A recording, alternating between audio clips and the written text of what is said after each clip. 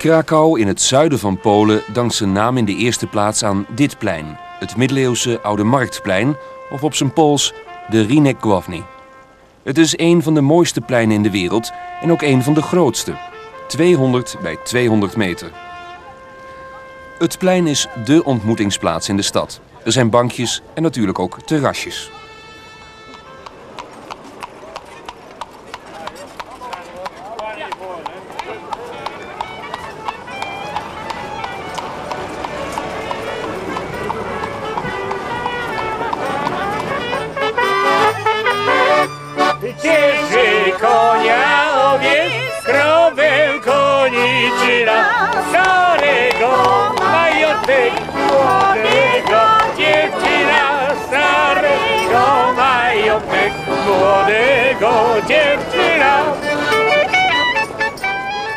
Voor menig West-Europeaan is het een foto waard dat in het katholieke Polen de religieuzen nog herkenbaar in het pak rondlopen.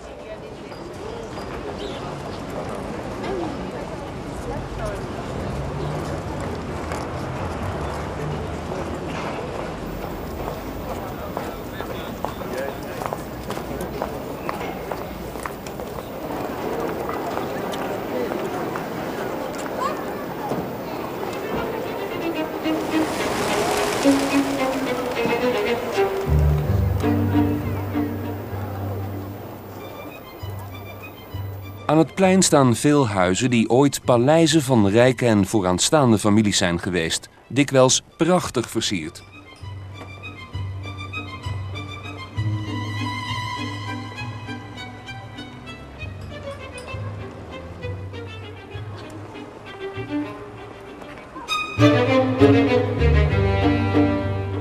Midden op het plein staat de Lakenhal, vlak naast de toren van het stadhuis. Het stadhuis zelf is afgebroken. De Lakenhal, of Sukjenicu, is langs het dak versierd met allerlei beelden. In feite is de Lakenhal een overdekte markt van zo'n 100 meter lang.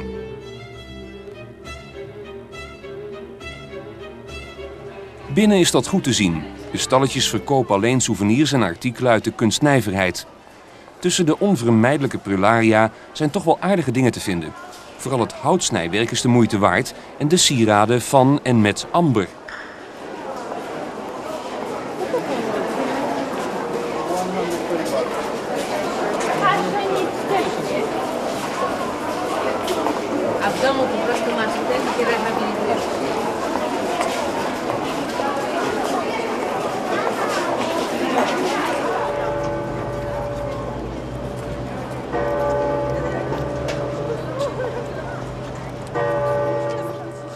Aan het plein staat de Mariakerk. Hoog in de noordelijkste en hoogste toren wordt een oud verhaal levend gehouden.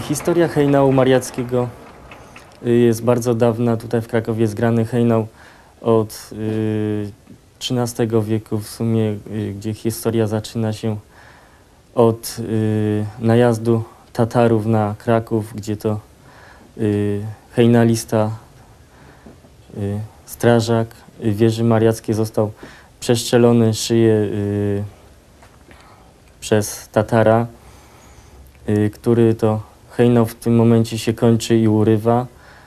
Hejnał jest grany od y, czasów bardzo dawnych i jest grany co godzinkę i codziennie, w dzień i w nocy, a od y, 1923 roku jest grany y, codziennie o 12 y, i transmitowany przez Polskie Radio na całą Polskę. Op dit pleintje naast de kerk klinkt de melodie van de hoornblazer het mooist.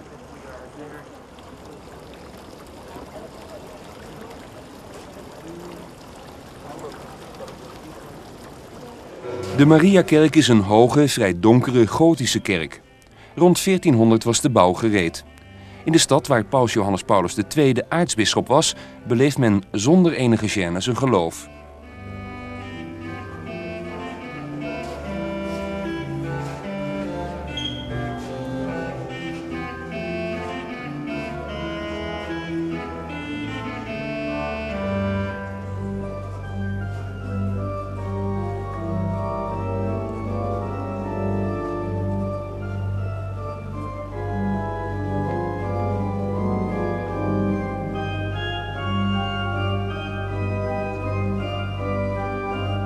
Het koor van de kerk is prachtig ingericht. De banken zijn versierd met houtsnijwerk en de rugleuningen met beschilderde reliefs.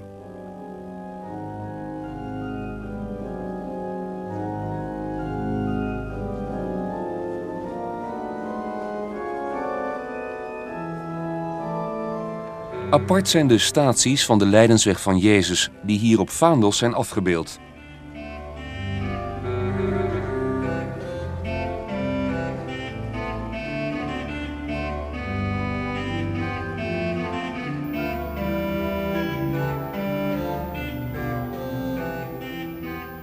Hoogtepunt is het enorme altaarstuk. Om 12 uur 's middags gaan de grote vleugeldeuren open, om 6 uur sluit men ze weer. Het altaar bestaat uit meer dan levensgrote figuren die door de Duitse kunstenaar Veit Stos uit lindenhout zijn gesneden en vervolgens gepolychromeerd.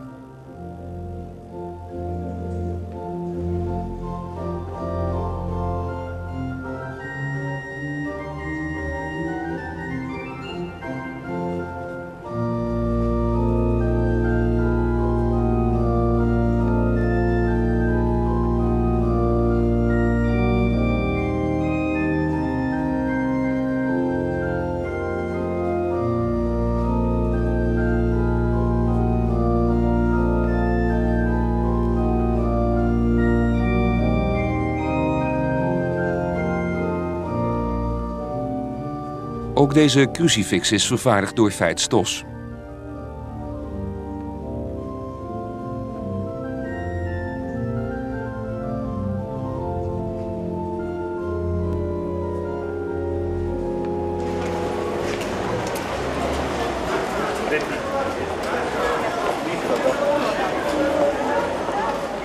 In de drukke winkelstraat Florianska ligt het oudste café van Krakau, Jama Michalika. Apart meubilair, jugendstil en goede bediening kenmerken dit stijlvolle etablissement.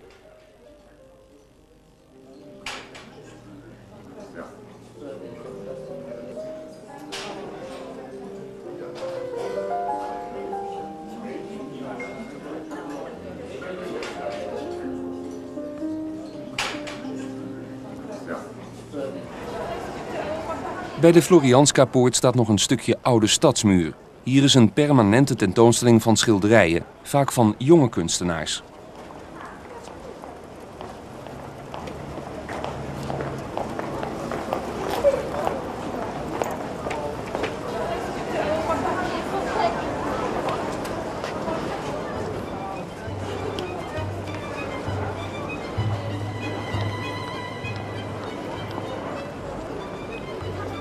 Oude straten met hier en daar een opvallende kerk leiden naar de andere trots van Krakau, het kasteel Wawel.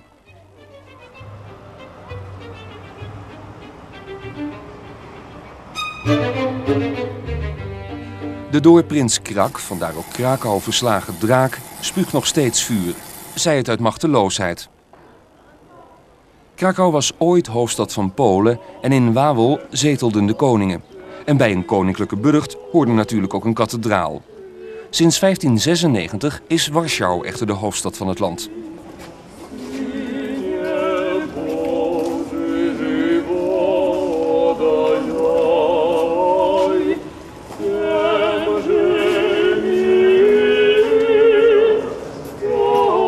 Het huidige kasteel is in 1500 gebouwd door een architect uit Florence.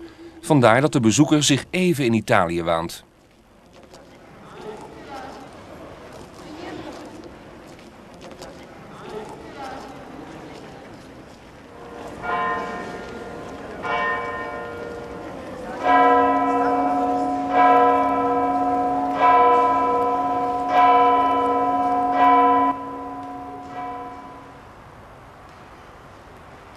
De audiëntiezaal in het kasteel bevat nog steeds de troon van de beroemde koning Sigismund Augustus.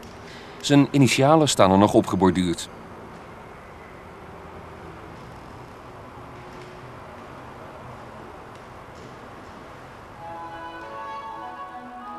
Verder is hier het plafond bijzonder, waar ooit 194 uit hout gesneden hoofden op de gebeurtenissen neerkeken.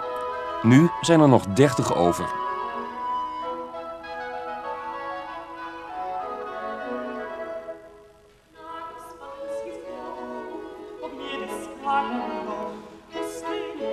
Om de sfeer te verhogen laat men straatmuzikanten toe, mits die in de stijl van het gebouw blijven.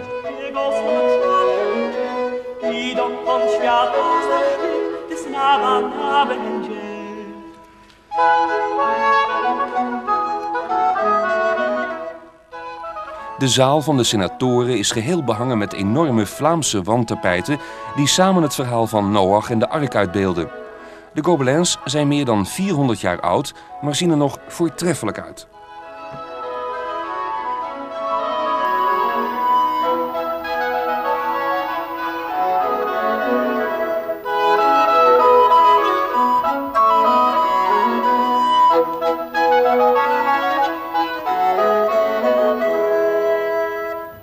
Rondom het oude centrum, waar ooit stadsmuren stonden, ligt nu als een park een groenstrook, de Planty. Het is een geliefde plek bij de mensen van Krakau, want zoveel bomen zijn er niet in de stad.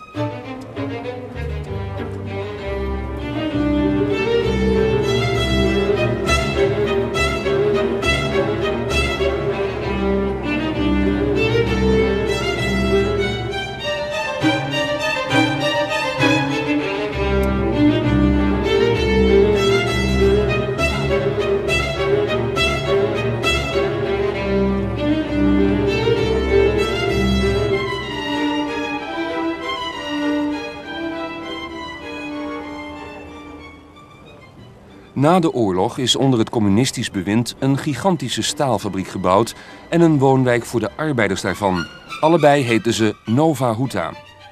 De woonwijk is een monument van Stalinistische bouw met grauwe, massieve appartementsgebouwen.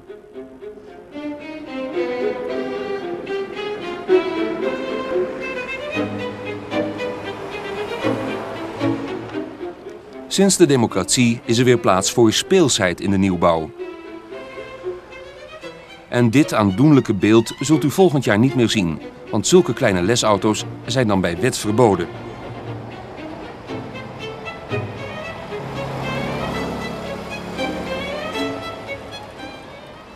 Voor de liefhebber is een bezoek aan het Luchtvaartmuseum zeker de moeite waard. Er is hier een omvangrijke verzameling vliegtuigen bijeengebracht, waarvan sommige stammen uit de eerste jaren van de luchtvaart.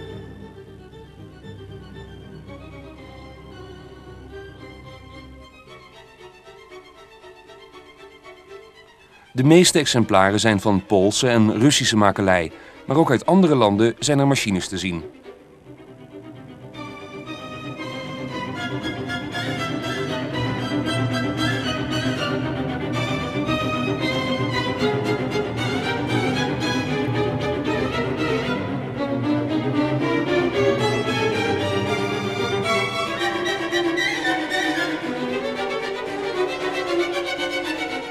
Deze eerste Poolse straaljager zal de schoonheidsprijs niet hebben gekregen. Maar van de MIGs 15, 20 en 21 gaat nog steeds een zekere dreiging uit.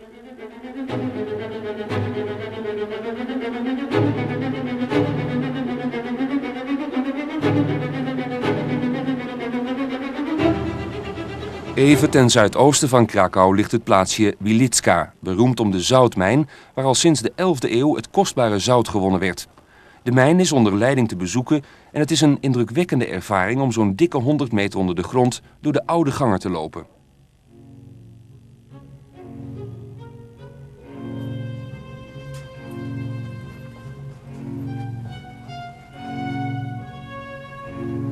Op veel plaatsen geven levensgrote beelden aan hoe hier vroeger werd gewerkt.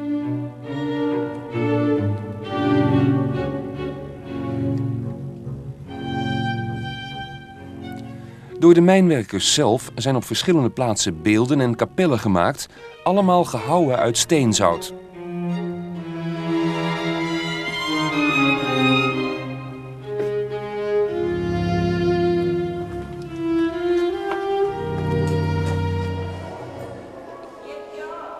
De meeste indruk maakt de grote kapel van de heilige Kinga, ook door mijnwerkers gemaakt. Alles van altaar tot kroonluchters is van zout De schitterende akoestiek heeft ertoe geleid dat ook hier concerten worden gegeven. Jesteśmy w kaplicy błogosławionej Kingi, najpiękniejszej kaplicy spośród wszystkich komór, jakie znajdują się w kopalni wielickiej. Znajdujemy się na głębokości 101 metrów pod e, powierzchnią. Kaplica została założona w eksploatowanej komorze w roku 1896. Prace nad jej rozbudową trwały do roku 1963. Wykonywali rzeźby i wszystkie tutaj figury górnicy zatrudnieni w kopalni. Było ich w zasadzie trzech rzeźbiarzy samouków. Pewne prace pomocnicze wykonywali inni górnicy. Wszystko, co tutaj widzimy, zarówno strop, spąk, ociosy, jak i rzeźby, wykonane są z wielickiej soli.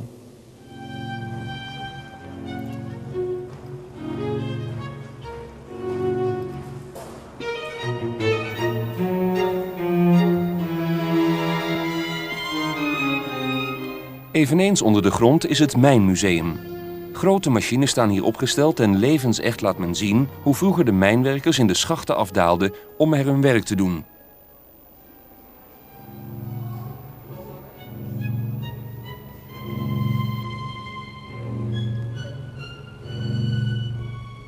Naast mensen werkten er ook in de mijn paarden.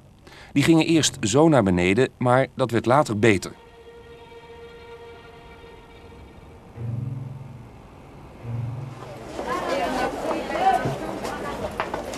Een markt in een ander land is altijd leuk. Hier komen ook de boerinnen uit de omgeving om de producten van hun land te verkopen.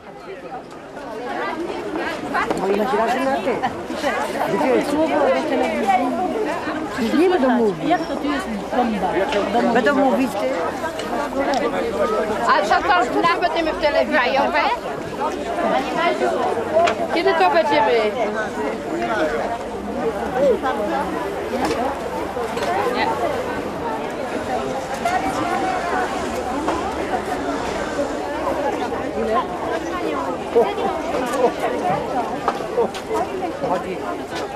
Tot eind 1996 kent Polen oud en nieuw geld. En dat is nog wel eens verwarrend.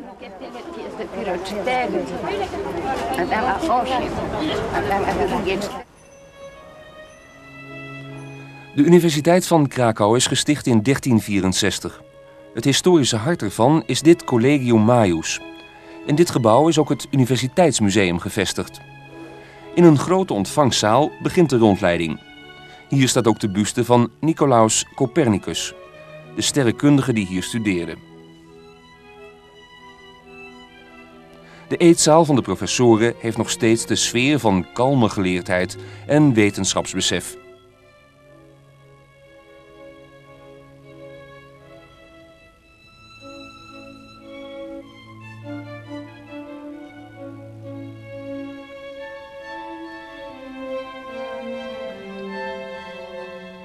Copernicus bracht met dit boek over de beweging van de hemellichamen de kerk in rep en roer. Die had altijd geleerd dat de zon om de aarde draaide. Copernicus beweerde het tegendeel.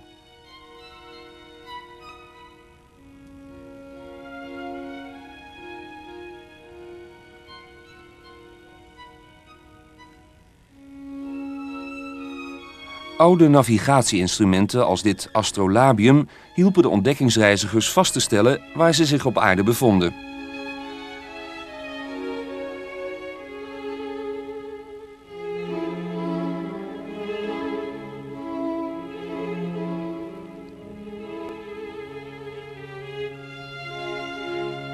Prachtig gemeubileerd en met portretten van vorsten, weldoeners en professoren is deze officiële ontvangstzaal van de universiteit een genoeg om naar te kijken.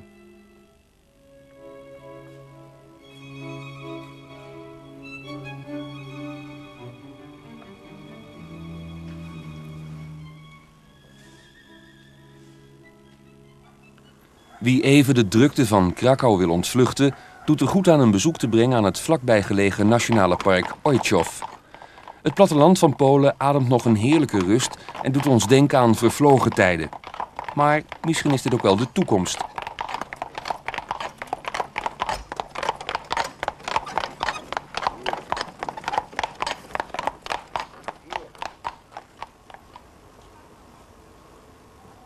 Langs de rivier de Pratnik groeit een unieke plantenwereld en soms is er, zoals hier, een kerkje overheen gebouwd. Ook de grillig gevormde kalksteenformaties zijn typisch voor dit gebied.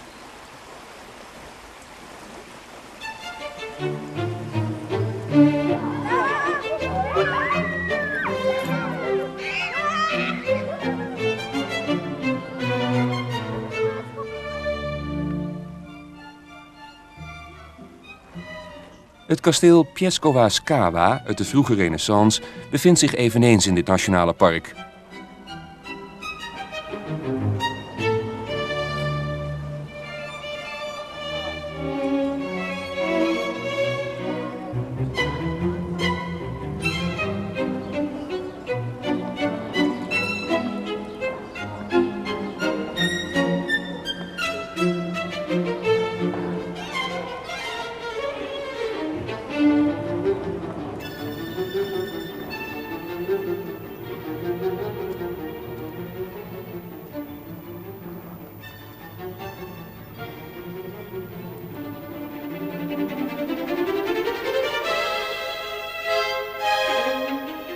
Kasteel kent ook een klein museum met een paar schilderijen van Hollandse meesters, zoals dit gezicht op Delft van Wouter Knif. Twee grote schatten bevinden zich in dit Czartoryski museum. Leonardo da Vinci heeft maar 14 schilderijen gemaakt en één ervan hangt in Krakau, de vrouw met de hermelijn. De andere schat is een doek van Rembrandt, Landschap voor de storm.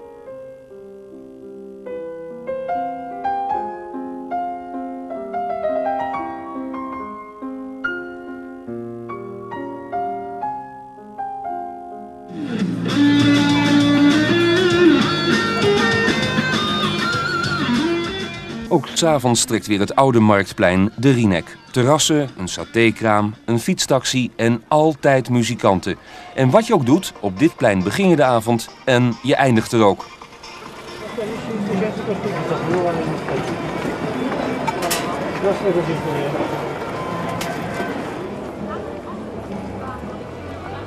Het kost geen moeite de avond in Krakau prettig door te brengen. Veel restaurants hebben live muziek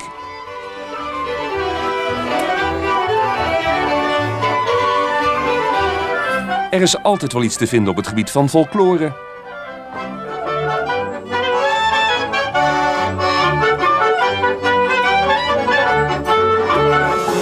En jazz is populair als nooit.